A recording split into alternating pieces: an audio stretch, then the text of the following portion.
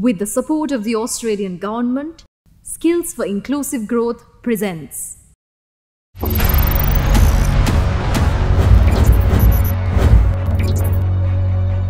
Bombs, bomb threats, and losses to lives and property are very common today.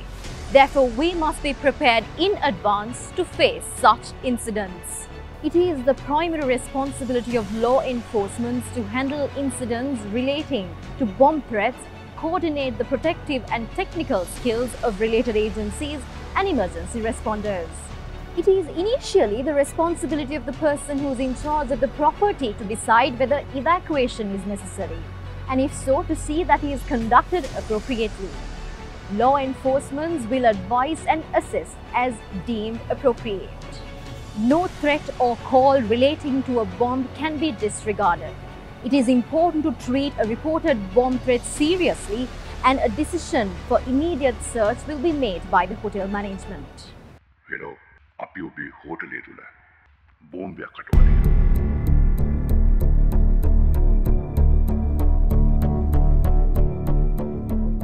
එය පුපුරවාදමුත් දේබල හා ජීවිත හානිවලින් ඔබට වන්දිගවන්ට වෙයි අපේ ඉල්ලීම අපේ සංවිධානය අර මුදල් සඳහා මුදල් එක් කර ගැනීම රුපියල් මිලියන පහකමට ලබා දෙන්න නැත්නම් අප බෝම්බය පුපුරවා හැරීමට ක්‍රියා කරනවා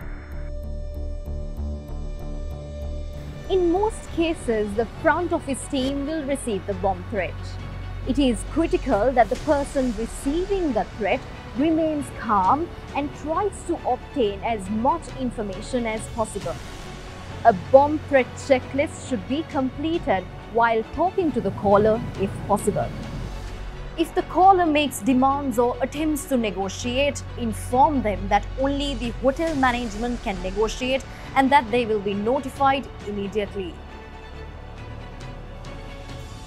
Then contact the general manager and the law enforcement authorities as directed to inform them of the threat. If a bomb or something that is possibly a bomb is found, do not operate your mobile phones or walkie talkies in the immediate vicinity.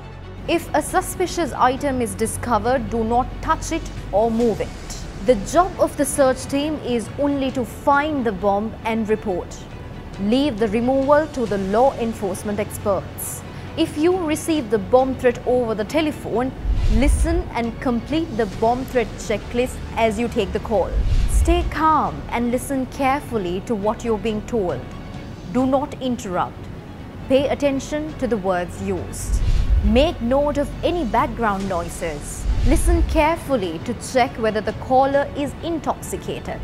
Make note of any password or code word given.